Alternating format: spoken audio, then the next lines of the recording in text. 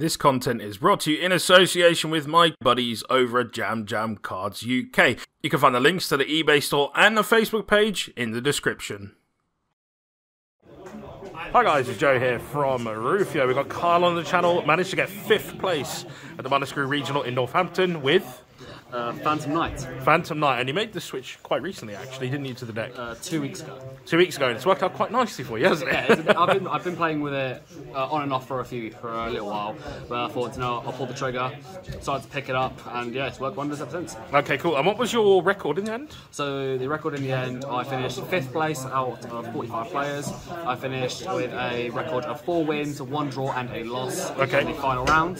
So X one one. X1 one, yes. Yeah, yeah. Okay, cool. Awesome.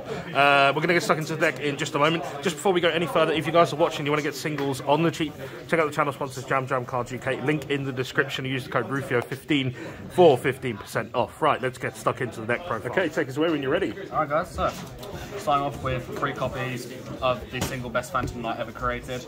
Torn Scales is absolutely insane.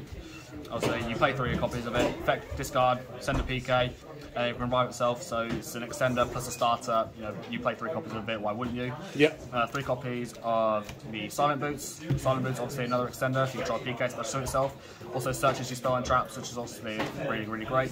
Yep. Uh, two copies of the Ancient Cloak, searches out your, mon- your, your monsters, and then the one copy of your Ragged Gloves, and the one copy of your Stained Greaves. I see a few lists that not, don't play this, but honestly today it was a great extender, so I would definitely play it going forward. Yep. And that's it for the PK lineup, very standard PK lineup, but obviously it's standard because it's the best lineup. And also three copies of Tour Guide.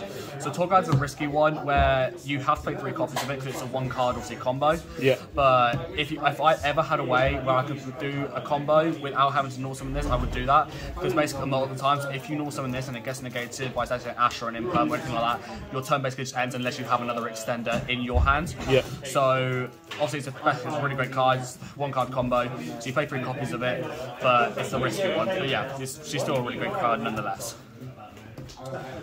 And three copies of Kagemucha Knight. So the before the tournament, I was debating whether or not to play two of this and a cool buy, but I ended up going with the three copies of this anyway because uh, it's an extender, obviously. So we like extenders, Yeah. and also hand traps aren't really that relevant in the format currently. So we decided to go for this, and it worked out really great. Every time I opened this game, it, it, it's like open this, it was just really obviously great because extenders. Yeah. And then going into everyone's favourite, Graff and Cir. For whatever reason, Graph was actually glued to my hand all day. Like, I opened this card more times than I opened, like, a lot of other cards, which is actually just stupid. You, I have a combo where you can unbrick this card, but it's a bit less optimal, but... Yeah, yeah. Oh, well, it happens. You have to play them. Obviously, they're just there. You look, we like Graff and Cir. And then into the other generic extenders. Uh, one tracker and one wielder. Uh, so obviously, if you control a level three, you other than them, you can special them from your hand for free. Yep. So obviously, extenders. And then Jack and Sneck. Obviously, really great extenders. You're guaranteed to get a level three off either one of them. So why wouldn't you? Yep. And then the actual best card in the entire deck, Terrortop with Sakatomborg. Yep. So this card's actually insane because it is a one card combo without having to use your normal summon. Yeah, yeah. So it just helps break through those boards. It helps make insane boards going first. So, and I- also, just like Graff, this card was glued to my hand all day, which I, I'm, not. I, I'm not complaining whatsoever. Absolutely beautiful. And Takatomborg is a sort of pseudo extender where if you have le- when you go into levy, if you have it in your hand, you can special summon it for free because you control a wind. Yep. So it's sort of it's not the best, but it's a pseudo extender nonetheless. Yep. Yeah, Tom Borg. If anyone's looking to get into the PK, play this card. there's um, there's no two ways about it. It's just that good. Yep. And then that's it for the extenders. And then hand it on to the uh, other cards. Uh, Dasher and Celestial. Obviously the DP package is too broken in this deck, so you have to basically play it. Yep. Uh, and then just like again, this card glued to my hand. I don't know why. And then obviously the scythe. Yeah. Everyone's favorite artifact. Um, I see a few people not playing the scythe block. Um, I don't really see why. This card is actually just insane. This whole combo is just insane. The amount of games I've won just by locking my opponent out of the extra deck is just Yep. absolutely broken. And then heading on to the hand traps, you only play the six, which is Droll and Nib.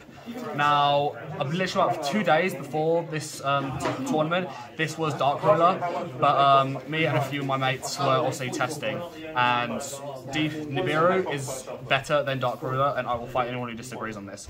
So against Sword Soul, it's a lot better. Against uh, uh, decks like Bird Up, most of the time they'll have Oath, so if they open up a hand where they can't go into Draco Future early, then you drop this card on them and they honestly just lose them. Against a bird player today, I opened both this and this, and it, yeah, well, we, you can tell that I won that one. Yep. And then that's it for the monster lineup for the deck. Uh, heading on into the spell cards. Of course, the three copies Fusion Destiny. Uh, obviously, just it's never bad. It's never. It's, it's never ever bad to draw this card. If anything, it actually saves you uh, doing steps in your combo. Yeah. A lot of times, um, uh, if I open this card plus combo, my board is even more insane because you don't have to worry about going into Verte, losing your life points and all that sort of stuff. You literally just drop this card, Yeah. which is obviously just really great.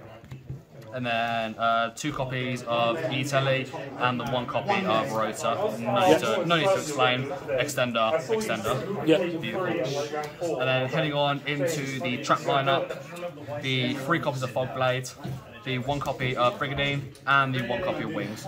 Uh, some people play sword, but wings is better because it can actually play around evenly. So if your opponent goes battle phase, you just chain the wings and then send to graveyard, so you don't lose as hard to evenly. Yeah. There's a few other like really niche players that comes other, up. yeah, exactly. Like against a um, a IGS player today, uh, they had DPE and I also had DPE, and they activated their DPE, but I chained this, so obviously they then have to pop one of their own cards and they're a DPE, which is just won me the game from there ult. And that's it for the main deck. 44 cards in total.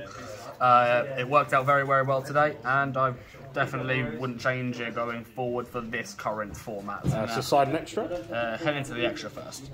So one copy of Link Spider. Use Yep. this to link away your uh, Brigandine. Uh, one copy of Cherub. Uh, one copy of Verte. One copy of Dagda. And one copy of IP. So uh, that's just stats. Yeah, it's pretty standard, right? Um, IP. I find myself going into this more if. Say like I've opened Fusion Destiny, just to make your board a little bit that bit more insane. Uh, and then Cherub actually won me a game like insanely earlier, I think it's Sword Soul. And obviously it has the effect where cards at point two can't be destroyed. So I literally just sat on their sats on it while summoning my Xyz is breaking my opponent's board and then their blackout was just done. Uh, so obviously that was just great. Uh, then uh, Bardish, Unicorn, and the Apollosa. So you, break- you don't need to pretty ex- standard, You don't yeah. need to explain Bardish. Um, Bardish. The card's just insane. There was a reason it's banned. And then heading into the XC's lineup, two copies of Break Sword, best XC's in the whole deck. Helps break boards, helps extend. It's just insane. Uh, one copy of Levy, uh, one copy of Redor. I play Redor over Nightmare. We were testing Nightmare for a while, but Redor is just infinitely better in my opinion. And then uh, Downerd and Zeus. Yep. Zeus came out a few times today and it won me a game, so I'll say Zeus is just Zeus is. Zeus. Zeus is strong. Zeus is Zeus. Know, you play Zeus. Obviously you can play Zeus, but you play Zeus. And then obviously for the actual last card of the deck, the MVP, Phoenix Enforcer. The actual, just card's insane. Uh, DP Cyflock is too good, and see, also it's a card that they have to constantly deal with because you keep popping it and summoning it back, and it's just the thing they have to constantly deal with. Uh, this card won me uh, the match that secured me the top cut today. So obviously against Prank Kids, you just kept I just kept popping their normal summons and they couldn't get off. Yeah. So this obviously just insane. Uh, so that's it for the extra deck lineup. Very standard in my opinion if you're playing the side package, but it's standard because it's the best. And then heading into the side deck. The IO, which is insane. Three Uh, wins. three wins, obviously. Uh, Dimensional Barrier. Now, this is a, a tricky one because we were playing. So, I was going to play Finn Chalice, but I uh, gave it to a mate of mine. And I decided to let him play it. And also, we were testing this as well. And this card's also quite good. So, against something like Sword Soul, uh, if you don't have proper way to get into your DP package, it's basically another DP, uh, another Scythe. If you think about it, because It, like, passes yeah, you call Synchro, and they basically just can't play. So obviously, yeah, that, that's just absolutely insane against other decks as well. You just call whatever they mainly play, and it just locks them down, and then you just kill next turn. Yep. Uh, game boot. Uh, this, I never actually used this card today, but against trap decks, uh, it's just insane. You just like no traps. What are you gonna do? Yep.